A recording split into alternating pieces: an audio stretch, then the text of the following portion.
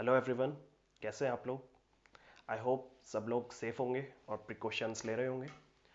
देखो जैसा कि आप लोगों को पता है सिचुएशन क्रिटिकल हो गई है काफ़ी और ना आपने कभी सोचा था ना मैंने कभी सोचा था किसी ने भी कभी नहीं सोचा था कि दुनिया में ऐसा कुछ हो जाएगा। इतना क्रिटिकल सिचुएशन पे हम लोग आ जाएँगे।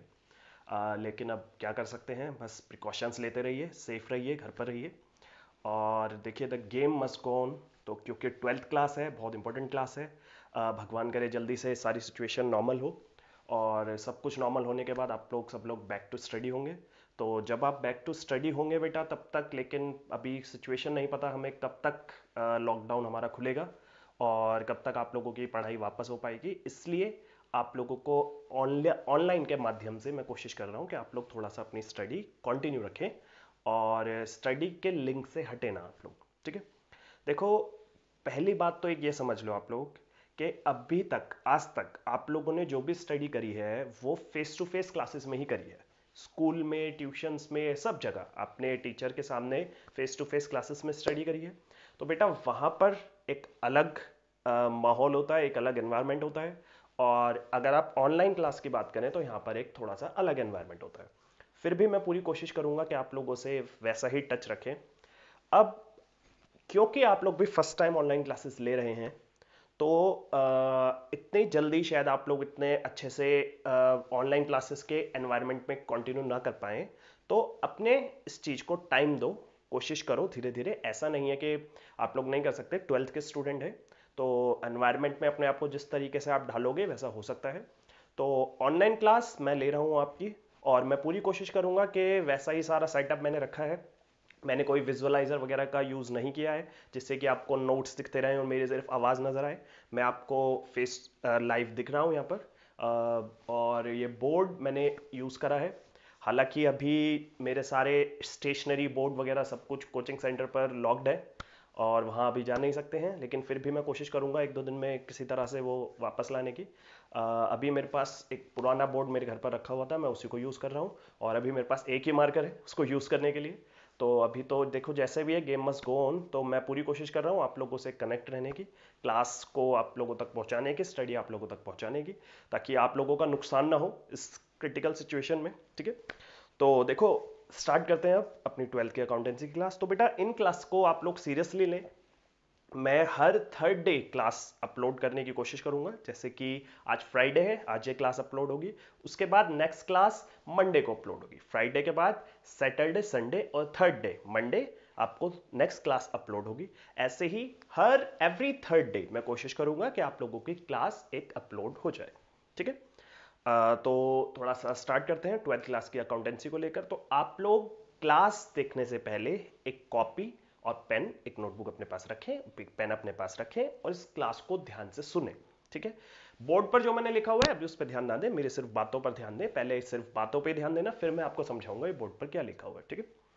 तो कॉपी पेन अपने पास रखिएगा, स्टार्ट करते हैं चीज़। देखो बेटा, ट्वेल्थ क्लास की अकाउंटेंसी में क्या डिटेल है, ये सब आपको बेसिक कॉन्सेप्ट से पता चलता है। अब आपका बेसिक कॉन्सेप्ट जो है, वो इलेवेंथ में ही क्लियर हो जाना चाहिए। इलेवेंथ क्लास में आपने बहुत सारे ऐसे कॉन्सेप्ट पढ़े हैं जो आपके ट्वेल्थ में कंटिन्यू होते हैं। तो मैं आपको स्टार्टिंग से बताता हूँ, बिल्कुल बेसिक से लेकर चलता हूँ। देखो अकाउंटेंसी का मतलब इलेवेंथ क्लास स्टार्ट होते ही आपको समझ में आ जाता है कि अकाउंटेंसी क्या होती है।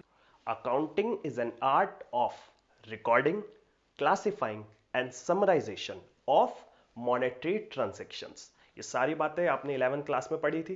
अकाउंट्स स्टार्ट करते ही सबसे पहले डेफिनेशन अकाउंटिंग की आती है। तो आपको पता है कि हम क्या करते हैं अकाउंटिंग में? कोई भी हमने नॉर्मल बिज़नेस अगर अपना स्टार्ट किया है तो हमें उस बिज़नेस के रिजल्ट्स देखने के लिए अकाउंटिंग करनी पड़ती है। अकाउंटिंग करने के लिए हमें क्या करना पड़ता है? हमें जितने भी मॉनेटरी ट्रांजेक्शन होते हैं अपने बिज़नेस में, यानी कि जो भी पैसों से रिलेटेड ट्रांजेक्शन है, जिसमें पैसों का कुछ लेन देन हो रहा है, या तो बिज़नेस में पैसा आ रहा है, या बिज़नेस से पैसा जा रहा है। तो जो भी ट्रांजेक्शन मनी से रिलेटेड आपकी होती है, उनको हम अपने यहाँ रिकॉर्ड करते हैं, उसको क्लासिफाई करते हैं एंड देन उसको समराई करते हैं, ठीक है? इलेवन क्लास में ये चीज़ें पढ़ी है तो आपको ये लिंक्ड भी होंगी कि हम रिकॉर्ड करते हैं तो किस कॉन्सेप्ट के थ्रू करते हैं, आपने जनरल एंट्री पढ़ी होगी, जो भी हमारे बिज़नेस में जितनी भी मॉनिटरी ट्रांजेक्शन होती है, उसको हम रिकॉर्ड करते हैं जर्नल एंट्री के थ्रू ओके उसके बाद उस जर्नल एंट्री में से हम लेजर्स में उनको पोस्ट करते हैं और लेजर पोस्टिंग में करने के बाद हमें उन लेजर्स के बाद हमें फाइनेंशियल स्टेटमेंट तैयार करनी होती है। उन सभी को समराइज करना होता है और फाइनेंशियल स्टेटमेंट में हम लोग क्या बनाते हैं? आप लोगों ने पढ़ा था financial statement of sole proprietorship उसमें हम लोग क्या बनाते हैं? Profit and loss account trading account balance sheet ठीक है? हाँ मैंने उल्टा बोल दिया। ट्रेडिंग अकाउंट पहले आता है प्रॉफिट एंड लॉस बाद में आता है, कोई बात नहीं। ठीक है? तो ट्रेडिंग अकाउंट हम लोग बनाते हैं, प्रॉफिट एंड लॉस अकाउंट बनाते हैं, और उसके बाद बैलेंस शीट हम लोग उसकी प्रिपेयर करते हैं, ठीक है? तो अब ट्वेल्थ क्लास में क्या करना है, सर? ट्वेल्थ क्लास में हमें अकाउंटेंसी में क्या करना है? ध्यान से समझना। देखो बेटा, जब भी इंडिया में कोई भी पर्सन बिज़नेस करना चाहता है तो वो तीन तरह से एंटिटी अपनी बना सकता है और बिज़नेस स्टार्ट कर सकता है।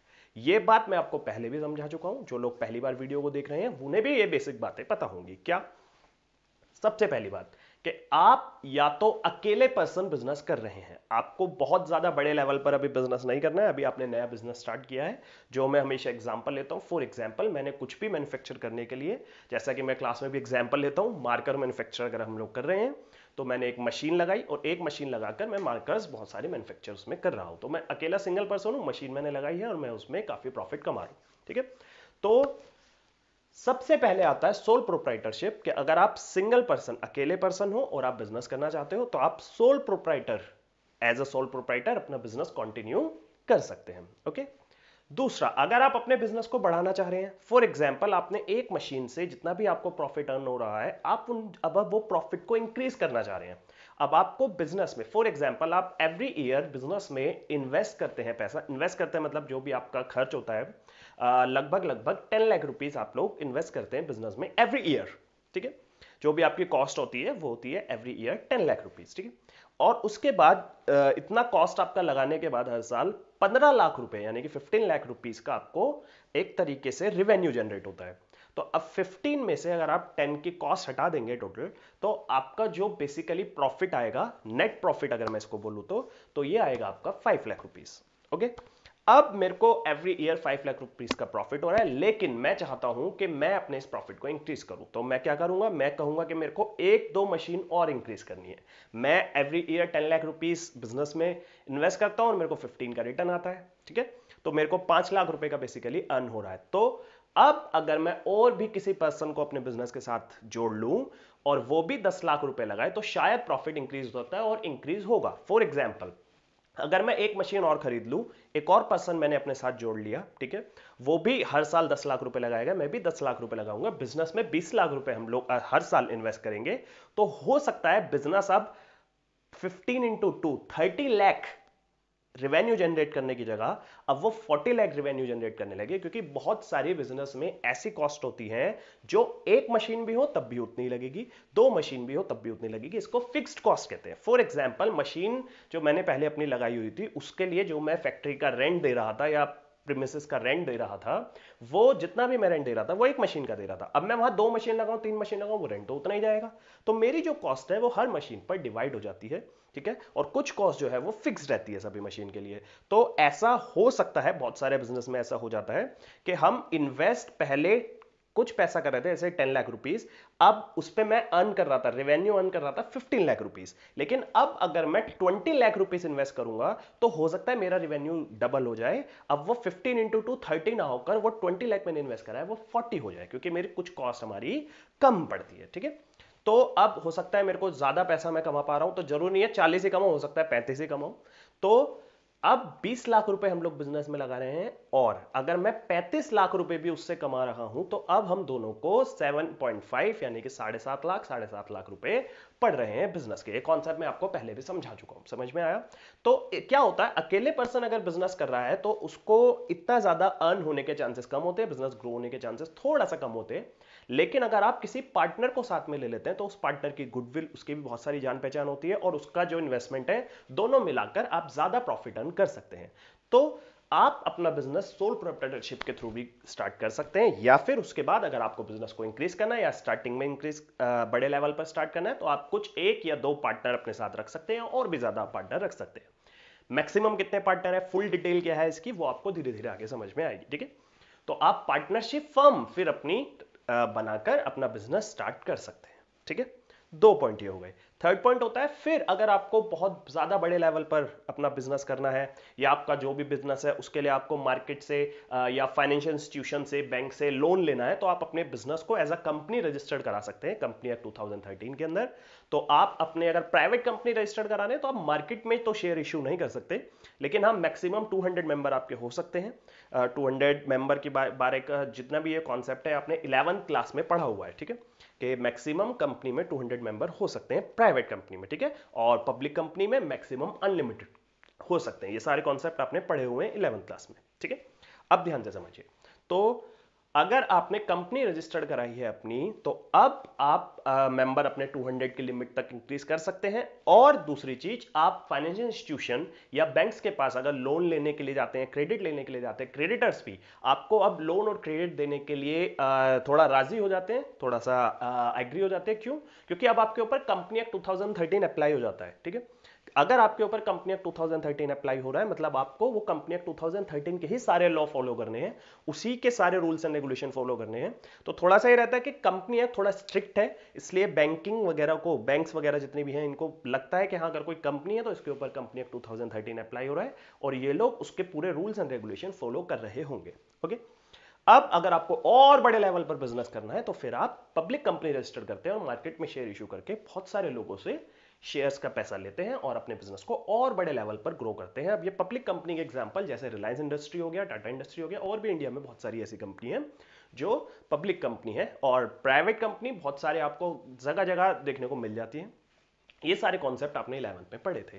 अब सर ट्वेल्थ में क्या करना है? अभी तो आप इलेवंथ के कॉन्सेप्ट रिवाइज करा रहे मैं रिवाइज नहीं करा रहा। ये सारे के सारे कॉन्सेप्ट ट्वेल्थ में भी यूज़ होंगे। अब ध्यान से समझिएगा आपको ट्वेल्थ में क्या करना है। तो जैसे कि मैंने बताया, आप तीन तरह से एंटिटी अपनी रजिस्टर्ड कराकर अपना बिज़नेस स्टार्ट कर सकते हैं। आप सोल प्रोपरेटरशिप के थ्रू अपना बिज़नेस कर सकते हैं, अकेले पर्सन आप दो तीन पार्टनर मिलकर अपनी पार्टनरशिप फर्म बना ले और उसके थ्रू अपना बिज़नेस कर ले, या फिर आप अपने आप को एज अ कंपनी रजिस्टर्ड करा लें और कंपनी एक्ट के अंदर आप बिज़नेस अपना कर सकते हैं। अब अकाउंटेंसी से कैसे लिंक करें? बेटा सोल प्रोपरेटरशिप कुछ याद आ रहा है इलेवन क्लास से? कि अकाउंटेंसी आप इलेवन क्लास में पढ़ चुके हैं। इसका फाइनेंशियल स्टेटमेंट बनाना आपने इलेवन क्लास में सीखा था। यानी कि फाइनल अकाउंट बनाना आपने इलेवन क्लास में सीखा था इसका, ठीक है? Profit and loss account balance sheet जो आप इसका बनाते थे trading account profit and loss account balance sheet वो चैप्टर याद करो। चैप्टर का नाम था sole proprietorship financial statement of sole proprietorship ठीक है? और एडजस्टमेंट का भी जो चैप्टर था वो, ठीक है? तो ये चैप्टर आपने इलेवन क्लास में पढ़ा हुआ है, इसकी पूरी अकाउंटिंग ठीक है? अब इस एंटिटी की अकाउंटिंग तो हमने इलेवन क्लास में पढ़ ली, लेकिन अब पार्टनरशिप फर्म की अकाउंटिंग हमें ट्वेल्थ क्लास में पढ़नी है और कंपनी की अकाउंटिंग हमें ट्वेल्थ क्लास में पढ़नी है। तो यहाँ से ये सारे कॉन्सेप्ट लिंक होते हैं आपके। समझ में आया? तो ट्वेल्थ क्लास की अकाउंटेंसी में हमें एक्चुअली पढ़ना क्या है? हमारा सिलेबस क्या है, सर? इस पूरे अकाउंटेंसी में हमें क्या क्या चीज़ें पढ़ने को मिलेंगी, वो सारी बातें आपको बोर्ड पे मैं दिखा रहा हूँ। कैसे कैसे आप लोग उसको पढ़ेंगे तो ध्यान से समझिए। आपके पूरे अकाउंटेंसी का जो सिलेबस है हंड्रेड मार्क्स की बात कर रहा हूँ not eighty marks hundred marks का जो सिलेबस है, वो तीन पार्ट में डिवाइड करा गया है। Part A part B part C ये जो डिवाइड किया है सीबीएसई e ने डिवाइड किया है तो पार्ट ए में जो आपका यूनिट्स डिवाइडेड है, वो सबसे पहला यूनिट यूनिट वन आता है। Financial statements of not for profit organisation पहले तो मैं आपको फाइनेंशियल स्टेटमेंट्स की पूरी डिटेल समझाऊँगा। अभी बेसिक जानकारी के लिए आप लोग ये समझ लीजिए फाइनेंशियल स्टेटमेंट जो आपने पढ़ा था। नॉट फॉर प्रॉफिट ऑर्गेनाइजेशन हो या सोल प्रोप्रेटरशिप हो पार्टनरशिप हो कंपनी हो बेसिकली फाइनेंशियल स्टेटमेंट में जो कवर होता है, वो होता है हमारा क्या? Trading account, profit and loss account और बैलेंस शीट। अभी तक इलेवंथ के कॉन्सेप्ट के हिसाब से आपके लिए इतना काफ़ी है, ठीक है? इलेवंथ में आपने पढ़ा है financial statement of sole proprietorship तो वहाँ आपने पढ़ा है trading account, profit and loss account and balance sheet. अब जब आप ट्वेल्थ में पढ़ेंगे कि पार्टनरशिप फर्म के फाइनेंशियल स्टेटमेंट में क्या आएगा कंपनी के फाइनेंशियल स्टेटमेंट में क्या आएगा, और एक और एंटिटी होती है not for profit organisation sir आपने इस एंटिटी का नाम इन तीनों के साथ क्यों नहीं लिया? क्योंकि ये तीनों एंटिटी अगर आप बना रहे हैं तो ज़्यादातर ये एंटिटी होती है प्रॉफिट मेकिंग ज़्यादातर क्या होती है? प्रॉफिट मेकिंग ही होती है। कि आप प्रॉफिट जनरेट आपको करना है इसलिए आप ये एंटिटीज बना रहे हो। कुछ एंटिटी ऐसी होती है नॉट फॉर प्रॉफिट ऑर्गेनाइजेशन जो प्रॉफिट कमाने के लिए काम नहीं करती है ठीक है? वो आ, लोगों की भलाई के लिए काम करती है म्यूचुअल अंडरस्टैंडिंग के लिए काम करती है जैसे कि बहुत सारे charitable trust charitable hospital charitable institution तो बहुत सारी एंटिटी होती है जो प्रॉफिट कमाने के लिए काम नहीं करती हैं। वो सिर्फ़ लोगों की भलाई के लिए और और भी बहुत सारे रीजन होते हैं क्यों वो काम करती है। तो इसकी डिटेल में मैं आपको तभी लेके जाऊँगा। तो फ़िलहाल आप इतना ही समझे फाइनेंशियल स्टेटमेंट यानी कि हमें फाइनल अकाउंट बनाना है इनका। जैसे इलेवंथ में बनाया था balance sheet profit and loss account वो नॉट फॉर प्रॉफिट ऑर्गेनाइजेशन का बनाना है। अब इनके फाइनेंशियल स्टेटमेंट में क्या क्या चीज़ें आती हैं? जैसे सोल प्रोपरेटरशिप के फाइनेंशियल स्टेटमेंट में trading profit and loss account balance sheet आया था तो इनमें क्या क्या चीज़ें आती हैं, ये जब ये चैप्टर स्टार्ट होगा यूनिट स्टार्ट होगी, तब आपको डिटेल में समझाया जाएगा। Get you are getting my point चलिए नेक्स्ट पॉइंट पे आते हैं। यूनिट टू हमारा आता है, ठीक है? यूनिट टू क्या है? अकाउंटिंग फॉर पार्टनरशिप फर्म अभी मैंने आपको बताया था सोल प्रोपरेटरशिप के बारे में, आप इलेवंथ क्लास में पढ़ चुके हैं अब जो आप पढ़ेंगे, वो पढ़ेंगे पार्टनरशिप फर्म की अकाउंटेंसी के बारे में। तो यूनिट टू आपकी आती है accounting for partnership firm sir ये फ़र्स्ट यूनिट कितने मार्क्स की है? फ़र्स्ट यूनिट हमारी आती है टेन मार्क्स की। बेटा एक ही चैप्टर है पूरा financial statement of not for profit not for profit organisation पूरा एक ही चैप्टर है और इस पूरे एक चैप्टर के जो वेटेज है, वो है टेन मार्क्स और ये बहुत बढ़िया स्कोरिंग चैप्टर है। बोर्ड में ये चैप्टर पूरा अपना अच्छे से प्रिपेयर करके जाएँ तो पूरा टेन मार्क्स हमारे हम एक्सपेक्ट कर सकते हैं कि इसमें आएँगे, ठीक है? दूसरा यूनिट टू सर ये थर्टी मार्क्स एक यूनिट थर्टी मार्क्स हाँ बेटा, इस यूनिट के अंदर आपके अलग अलग चैप्टर्स डिवाइड होते हैं, ठीक है? जब आप अकाउंटिंग फॉर पार्टनरशिप फर्म के बारे में बात करते हैं तो बेसिकली हम अकाउंटिंग कैसे करते हैं? एक बहुत ही छोटा सा बेसिक आपको बताता हूँ कि अकाउंटिंग फॉर पार्टनरशिप फर्म में आप पहले देखते हैं कि अगर पार्टनरशिप फर्म हमने बनाई है तो उसमें क्या बेसिक हमारी अकाउंटिंग होती है? नॉर्मल हमारी पार्टनरशिप फर्म चल रही है तो क्या बेसिक उसमें अकाउंटिंग होगी? उसके फाइनेंशियल स्टेटमेंट में हमें क्या क्या बनाना पड़ेगा, ठीक है? अब आगे। अगर हमने अपनी पार्टनरशिप फर्म में कोई न्यू पार्टनर को एडमिशन किया, उसका कोई एडमिशन लिया हमने न्यू पार्टनर को मतलब हम तीन पार्टनर पहले थे और एक नया पार्टनर और आ गया तो हम टोटल हो गए चार पार्टनर तो अब हमारी अकाउंटेंसी में, हमारी पार्टनरशिप फर्म में क्या चेंजेस आएँगे मॉनेटरी टर्म से रिलेटेड मतलब पैसों से रिलेटेड क्या क्या हमारे बीच में डीलिंग होगी क्या क्या चेंजेस आएँगे? तो उसके बारे में हमें पढ़ना है। उसके बाद अगर कोई पार्टनर हमारे यहाँ से रिटायर हुआ रिटायर हुआ मतलब वो चला गया, पहले चार पार्टनर थे, अब तीन ही रह गए, कोई एक पार्टनर था, उसको कहीं जाना था, भाई फॉरन जाना था, उसकी नौकरी लग गई बढ़िया तो वो निकल गया हमारी फर्म से और वो कहीं और चला गया। तो वो पार्टनर अगर गया है तो फिर हमारे पार्टनरशिप फर्म में क्या काउंटिंग होगी और उसके बाद अगर हम बात करें, उसके बाद लास्ट में आता है कि अगर पार्टनर अगर हमारे किसी की डेथ हो जाती है, मान लो हमारे चार पार्टनर है, चार में से एक की डेथ हो गई, तीन रह गए तो अब इसकी अकाउंटेंसी हम कैसे करेंगे? अब एक इसमें लास्ट पॉइंट और आ जाता है, क्या?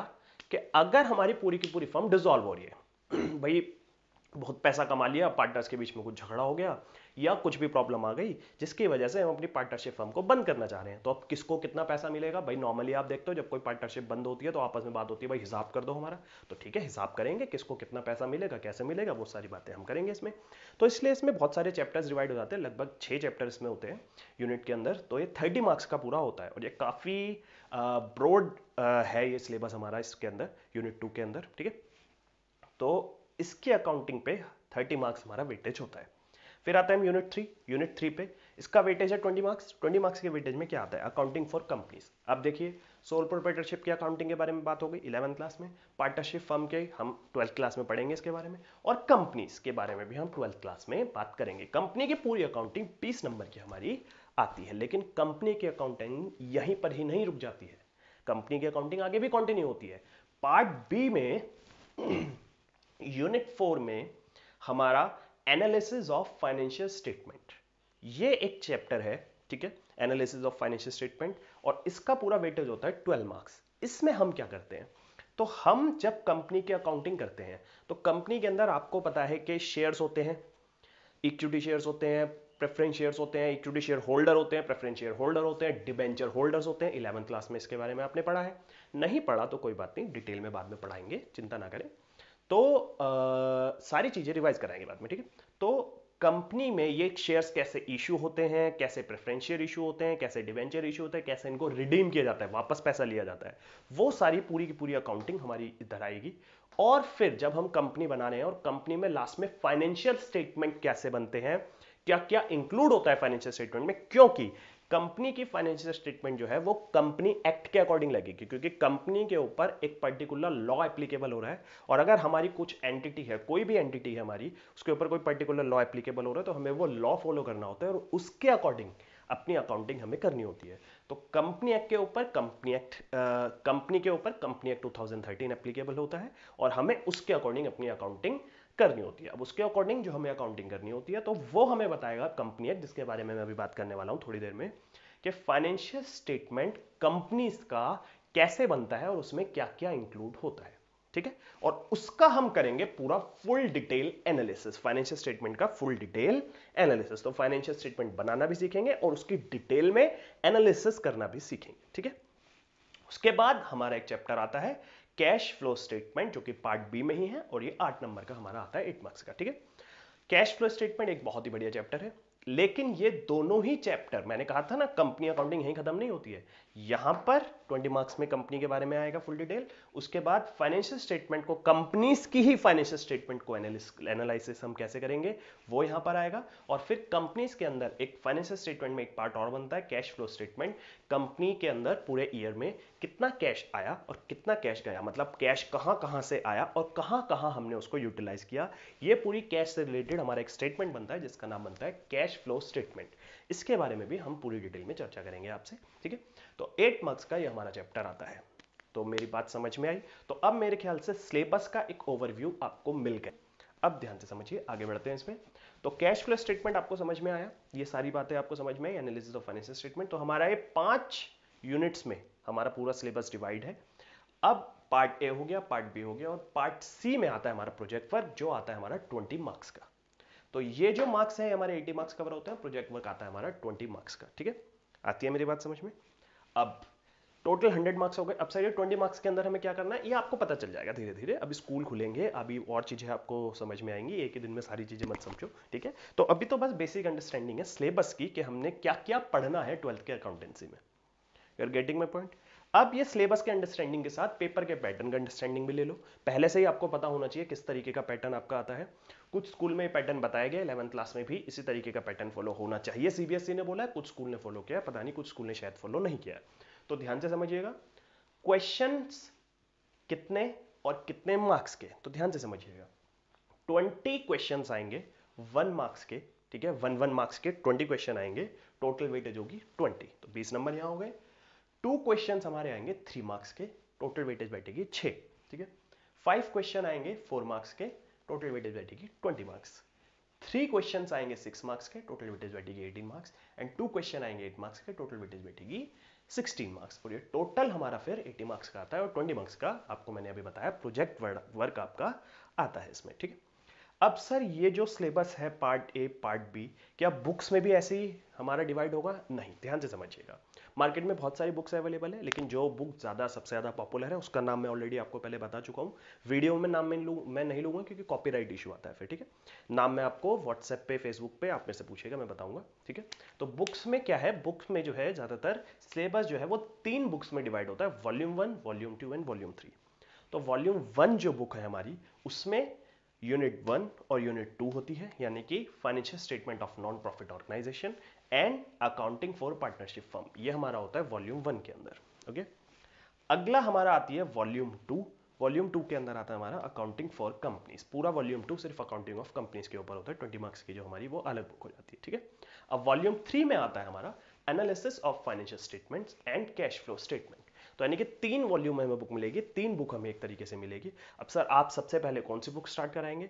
सबसे पहले हम जो बुक स्टार्ट करेंगे, वो थ्री स्टार्ट कराएँगे रीजन बिंग रीजन बिंग इसका रीजन ये है कि इस बुक में जो बेसिक कॉन्सेप्ट हैं कंपनी के फाइनेंशियल स्टेटमेंट वगैरह, वो आपको पहले ही समझ में आ जाने चाहिए।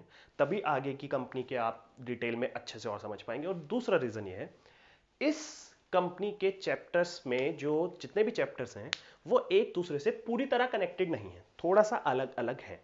बाकी की अगर मैं चैप्टर की बात करूँ पार्टनरशिप फर्म में या कंपनी में, अगर एक चैप्टर आपका मिस हुआ तो आगे के दो चैप्टर फिर आपको समझ में नहीं आएँगे। तो इस बुक को स्टार्ट करने का पहला मकसद ये होता है बेसिक ये कॉन्सेप्ट होता है कि स्टूडेंट अगर बाद में बीच में भी क्लासेस ज्वाइन करे तो उसको ये सारी चीज़ें बीच में भी समझ में आ जाएँ, ठीक है? लेकिन अगर हमने पार्टनरशिप फॉर्म पहले स्टार्ट करी तो अगर किसी बच्चे का पहला चैप्टर निकला तो वो बेसिक कॉन्सेप्ट उसको समझ में नहीं आएगा, आगे तक पूरा पार्टनरशिप की बुक उसकी गायब, ठीक है? और फिर इतना हैवी आपके लिए हो जाता है, यहाँ पर अलग अलग थोड़ा सा कंपेरेटिवली हल्का सा ईजी कॉन्सेप्ट है यहाँ पर। तो इसलिए पहले अपने माइंड को ट्वेल्थ के सिलेबस में ढालो, इन चीज़ों को समझो, इनको दिमाग में डालो, ठीक है? और ये सारी चीज़ें आपको धीरे धीरे समझ में आएँगी। तो चलिए, आगे बढ़ते हैं नेक्स्ट कॉन्सेप्ट पे। आगे बढ़ने से पहले एक चीज़ मैं आपको बताना चाहूँगा। एक ऐप होती है गूगल क्लासरूम के नाम से। मैंने लिखा हुआ है गूगल क्लासरूम आप लोग वो ऐप डाउनलोड करें और वहाँ राइट एंड साइड कॉर्नर पे एक ऑप्शन होता है ज्वाइन क्लासरूम आप उस ऑप्शन पे क्लिक करेंगे तो वो कोड आपसे पूछेगा और ये कोड आप डालिएगा C A two four P I four all alphabets are in small letters ये आप कोड डालेंगे तो मैंने वहाँ पर एक क्लासरूम बनाई हुई है। ये क्या है? कुछ नहीं है। इसमें कोई पेमेंट या कुछ भी नहीं है। सिर्फ़ आपको एक ऐप डाउनलोड करनी है इसकी। और अगर ये आप क्लासरूम ज्वाइन करते हैं, मैंने यहाँ क्लासरूम बनाया हुआ है तो उस पर मैं आपके लिए नोट्स अपलोड कर सकता हूँ, आपके ऑनलाइन टेस्ट अपलोड कर सकता हूँ। तो ये सारी चीज़ें आप उसमें आपको मिल जाएँगी। जो हम एक्चुअली ऑनलाइन क्लास में पूरी तरह कनेक्ट नहीं हो पाते, आप वहाँ पर क्वेरीज वगैरह भी उसमें पूछ सकते हैं, ठीक है? तो कोशिश तो मैं पूरी कर रहा हूँ कि आप लोगों का स्टडी कंटिन्यू रहे, नुकसान ना हो, ठीक है? तो आप लोग भी सीरियसली प्लीज़ थोड़ा पढ़ाई करिएगा ओके तो चलिए अगले कॉन्सेप्ट पे आते हैं। अब मैंने आपको बताया, पूरा सिलेबस आपको मैंने बताया तो उसमें मैंने आपको एक चीज़ बोली थी कि थर्ड बुक हमारी पहले स्टार्ट होगी, जिसमें मैंने आपको बताया था यूनिट फोर और unit five unit four analysis of financial statement and unit five cash flow statement ठीक है? तो यूनिट फोर जो है एनालिसिस ऑफ़ फाइनेंशियल स्टेटमेंट तो उसके बारे में मैं आज आप पहले, आपसे पहले उसके बारे में चर्चा हम करेंगे। तो एनालिसिस ऑफ़ फाइनेंशियल स्टेटमेंट पहले आप ये समझिए फाइनेंशियल स्टेटमेंट होता क्या है। देखो बेटा फाइनेंशियल स्टेटमेंट किसी भी एंटिटी का, वो स्टेटमेंट्स होते हैं, वो डॉक्यूमेंट्स होते हैं, जो उस एंटिटी के रिजल्ट्स बताएँ। रिजल्ट्स कैसे पता चलेगा? आपको प्रॉफिट एंड लॉस अकाउंट से रिजल्ट्स पता लगेगा कंपनी ने प्रॉफिट कमाया है या कंपनी को लॉस हुआ है। और बैलेंस शीट से कंपनी की फाइनेंशियल पोजीशन के बारे में आपको पता चलेगा कंपनी के पास कितना एसेट्स है कितनी लाइबिलिटीज है और कितना कैपिटल है कंपनी के पास। बाकी आपको पता ही है एसेट्स भी अलग अलग पार्ट में डिवाइड होती है कितना कंपनी के पास फिक्स एसेट या किसी भी एंटिटी की अगर मैं बात करूँ तो कितना फिक्स एसेट है कितना आपके पास करंट uh, एसेट है लाइबिलिटी में कितनी फिक्स लाइबिलिटी है करंट लाइबिलिटी है, सारी, किसी भी एंटिटी को फाइनेंशियल स्टेटमेंट क्या होता है एंटिटी का? वो डॉक्यूमेंट्स जो उस एंटिटी के रिज़ल्ट बताए okay now next point financial statement हर एंटिटी का अलग अलग बनता है। सोल प्रोप्रेटरशिप का फाइनेंशियल स्टेटमेंट इलेवंथ क्लास में बनाना सीख लिया है balance sheet trading account profit and loss account ये हमने बनाना सीख लिया है। अब पार्टनरशिप का जो फाइनेंशियल स्टेटमेंट बनेगा, वो पार्टनरशिप वाले चैप्टर में आपको डिटेल में समझाया जाएगा। फ़िलहाल एनालिसिस ऑफ़ फाइनेंशियल स्टेटमेंट जो हम कर रहे हैं, वो कर रहे हैं कंपनी की। तो analysis of financial statement of company हम पहले इस कॉन्सेप्ट को डिटेल में पढ़ेंगे। तो फाइनेंशियल स्टेटमेंट आपको पता लग गया, वो डॉक्यूमेंट जो रिज़ल्ट बताएगा। अब कंपनी के अंदर ऐसे कौन कौन से डॉक्यूमेंट होते हैं जो फाइनेंशियल स्टेटमेंट में काउंट होते हैं? ठीक है? अब देखिए बेटा कंपनी की पहली बात तो आपने इलेवंथ में बेसिक डेफिनेशन पढ़ी हुई है, जो कंपनी की सेक्शन टू क्लॉज ट्वेंटी में है that company is a company registered under company act 2013 और in any previous company law ये आपने डेफिनेशन पढ़ी है। तो कंपनी होती क्या है? आपने पढ़ा है बेसिक चीज़ें आर्टिफिशियल पर्सन एक तरीके की वो होती है लॉ में सिर्फ़ उसकी एग्जिस्टेंस होती है। तो कंपनी जो हमने एंटिटी बनाई है, वो सिर्फ़ एक रजिस्ट्रेशन करा लिया है उसका और मेंबर हम लोग उसके सेपरेट होते हैं और कंपनी एक सेपरेट एंटिटी मानी जाती है। तो कंपनी के अंदर जो भी रूल्स फॉलो होते हैं, वो पूरे के पूरे रूल्स फॉलो होते हैं कंपनी एक्ट के। अगर मैं, अभी मैं पूरे लॉ के डिटेल में आपको नहीं लेकर जा रहा रूल्स और लॉ में बहुत डिफरेंस होता है वैसे तो। तो अभी मैं लेमन लैंग्वेज में मतलब एक नॉर्मल लैंग्वेज में आपको ये बातें समझा रहा हूँ। तो बेसिकली कंपनीज़ के ऊपर एक लॉ एप्लीकेबल हुआ, होता है। लॉ है कंपनी एक्ट 2013 ये आपको पता है। तो कंपनी के अंदर जो भी डॉक्यूमेंट्स प्रिपेयर होंगे या कंपनी जो भी डिसीज़न लेगी, जो भी काम कंपनी करेगी, वो कंपनी एक्ट 2013 के लॉ को फॉलो करके करेगी। गॉट इट अब कंपनी एक्ट के ऊपर, अगर कंपनी एक्ट कंपनी के ऊपर कंपनी एक्ट 2013 एप्लीकेबल हो रहा है तो अब कंपनी कंपनी एक्ट 2013 के अकॉर्डिंग अपनी फाइनेंशियल स्टेटमेंट बनाएगी। अब कंपनी एक्ट 2013 ने कंपनी को क्या बोला है वो ध्यान से समझिए। कंपनी एक्ट 2013 ने फाइनेंशियल स्टेटमेंट की डेफिनेशन बताई है कंपनी को ठीक है?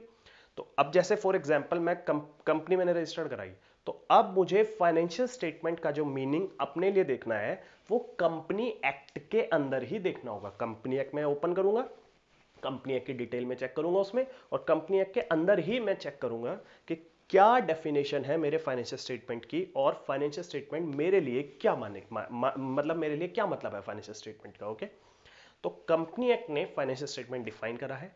एक सेक्शन में सेक्शन है section two clause forty financial statement company ने डिफाइन किया है फाइनेंशियल स्टेटमेंट क्या होता है, ठीक है?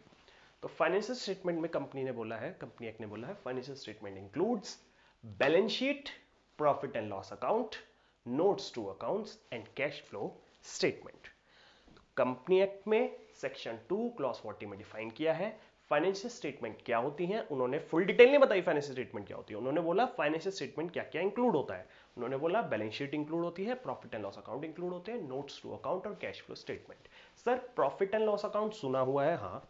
सर बैलेंस शीट सुना हुआ है इलेवन क्लास में? बिल्कुल। सर नोट्स टू अकाउंट नहीं सुना। बताया मुझे? बिल्कुल अभी बताएँगे क्या होता है? कैश फ्लो स्टेटमेंट भी सर नहीं पढ़ा हमने। तो बिल्कुल पढ़ाएँगे बेटा, तभी तो ट्वेल्थ क्लास है अब ये, जो थोड़ा सा तो नई चीज़ें आपको नज़र आएँगी ना इसमें।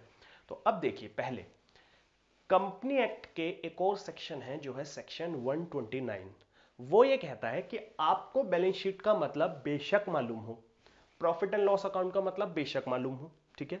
लेकिन हम, कंपनी एक्ट, ये कहता है कि इंडिया में जितनी भी कंपनीज़ है, वो इस सेक्शन को फॉलो करे ये सेक्शन क्या कह रहा है? ये कह रहा है, section 129 of companies act 2013 prescribe मतलब बताता है कि balance sheet and profit and loss account बनाए जाएँगे, are prepared in form prescribed in schedule three of company act 2013 अब इस लाइन का मतलब क्या सर? ये तो बड़ी अजीब सी लाइन है। अजीब सी इसलिए क्योंकि इसमें जो लैंग्वेज लिखी हुई है, वो पूरे लॉ की लैंग्वेज लिखी हुई है।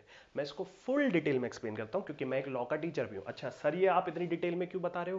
बेटा इस सिलेबस में है। ये आपकी बुक में बिल्कुल बुक का एग्जैक्ट पॉइंट मैंने यहाँ पर लिखा है। जो आपको बुक अभी मिलेगी, बिल्कुल बुक का एग्जैक्ट पॉइंट मैंने लिखा है, इसलिए मैं इसको डिटेल में एक्सप्लेन कर रहा हूँ। ये बिल्कुल सिलेबस में है। अब ध्यान से समझो। कंपनी एक्ट 2013 का सेक्शन 129 ये बोल रहा है आपको कि आपको बैलेंस शीट का मतलब बेशक पता हो प्रॉफिट एंड लॉस अकाउंट का मतलब बेशक पता हो, लेकिन इंडिया में जितनी भी कंपनीज़ हैं, वो कंपनी एक्ट फॉलो करेंगी और balance sheet profit and loss account जो बनाए जाएँगे, वो हमारे कहे हुए फॉर्मेट के अनुसार बनाए जाएँगे। और हमने जो फॉर्मेट बताया है, वो एक शेड्यूल थ्री के नाम से एक हमने शेड्यूल बनाया है, जिसके अंदर प्रॉफिट एंड लॉस और बैलेंस शीट का फॉर्मेट पूरा डिफाइन किया है। अब कंपनी एक्ट में क्या होता है? कंपनी एक्ट के अंदर बहुत सारे फॉर्मेट बहुत सारी चीज़ों के बताए हुए हैं उन्होंने कि भैया बैलेंस शीट का ये फॉर्मेट होगा प्रॉफिट एंड लॉस का ये फॉर्मेट होगा, और भी बहुत सारे डॉक्यूमेंट्स कंपनी के होते हैं जिसके बारे में आपको नहीं पढ़ना, उनके भी फॉर्मेट्स बताए हुए हैं। तो एक शेड्यूल उन्होंने बनाया हुआ है। शेड्यूल क्या होता है? इतनी डिटेल में आपको नहीं जाना है। बस ये मानिए कि लॉ के अंदर का ही एक पार्ट है। शेड्यूल माने एक ऐसी चीज़ जिसमें बहुत सारे फॉर्मेट्स लिखे हुए हैं, ठीक है? तो शेड्यूल थ्री के अंदर हमारी बैलेंस शीट और प्रॉफिट एंड लॉस का फॉर्मेट लिखा हुआ है, जो हमें जिस पे ध्यान देना है, ठीक है? कि शेड्यूल थ्री के अंदर बैलेंस शीट और प्रॉफिट एंड लॉस अकाउंट का फॉर्मेट लिखा हुआ है। तो अब जब भी हम इंडिया में किसी भी कंपनी की बैलेंस शीट या प्रॉफिट एंड लॉस अकाउंट बनाएँगे तो हमें पहले शेड्यूल थ्री पढ़ना होगा और शेड्यूल थ्री में देखना होगा कि किस फॉर्मेट में बैलेंस शीट बनी हुई है और किस फॉर्मेट में प्रॉफिट एंड लॉस अकाउंट बना हुआ है। You are getting my point अब प्रॉफिट एंड लॉस को एक्सप्लेन करने के लिए मैंने यहाँ स्टार मार्क किया है। और ये स्टार मार्क को मैं एक्सप्लेन करता हूँ। यहाँ पर डबल स्टार जो है वो नोट्स टू अकाउंट के लिए। तो उसको भी एक्सप्लेन करेंगे। तो प्रॉफिट एंड लॉस जो है हमारा, इस पर मैंने डिफाइन किया है। It is described as statement of profit and loss in part two of schedule three अब ये जो प्रॉफिट एंड लॉस की हम बात कर रहे हैं शेड्यूल थ्री के अंदर तो शेड्यूल थ्री के अंदर प्रॉफिट एंड लॉस का जो फॉर्मेट दिया हुआ है, वो पार्ट टू में दिया हुआ है। शेड्यूल थ्री के अंदर बहुत सारे पार्ट्स हैं। तो पार्ट टू के अंदर प्रॉफिट एंड लॉस का स्टेटमेंट दिया हुआ है।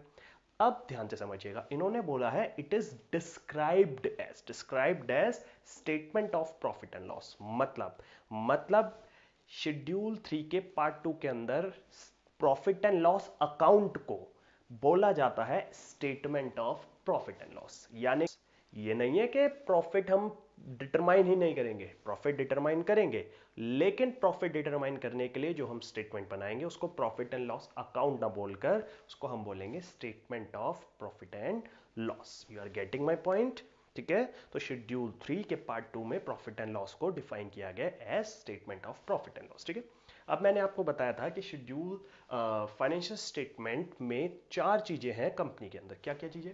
बैलेंस शीट उन्होंने बोला है कि फाइनेंशियल स्टेटमेंट के अंदर बैलेंस शीट होगी प्रॉफिट एंड लॉस अकाउंट होगा नोट्स टू अकाउंट होगा और कैश फ्लो स्टेटमेंट होगा। बैलेंस शीट और प्रॉफिट एंड लॉस अकाउंट जो है, वो शेड्यूल थ्री के फॉर्मेट के अकॉर्डिंग हमें बनाना है। अब सर नोट्स टू अकाउंट क्या होता है? नोट्स टू अकाउंट क्या होता है? ये कंपनी के लिए, आप लोगों के लिए एक नई चीज़ है। ये भी वैसे शेड्यूल थ्री में इसके बारे में बोला हुआ है, लेकिन हमें इतनी डिटेल में नहीं पढ़ना। खाली आपको पता होना चाहिए नोट्स टू अकाउंट क्या होता है।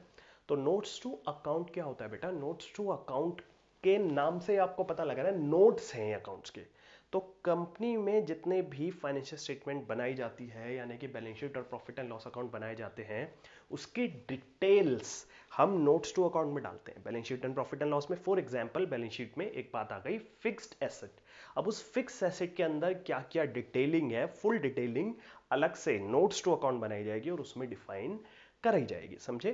तो प्रॉफिट एंड लॉस जो हम बनाते हैं, उसको हम क्या बोलते हैं? Statement of profit and loss तो statement of profit and loss company का जब हम बनाते हैं और बैलेंस शीट जब हम बनाते हैं, उसकी सारी डिटेल्स हम कहाँ डिफाइन करते हैं? नोट्स टू अकाउंट्स में. तो ये नोट्स टू अकाउंट हमें बनाना मैंडेटरी होता है। ये ज़रूरी होता है बनाना और ये कैसे बनाते हैं, इसको बनाना हम आपको सिखाएँगे डिटेल में, ठीक है?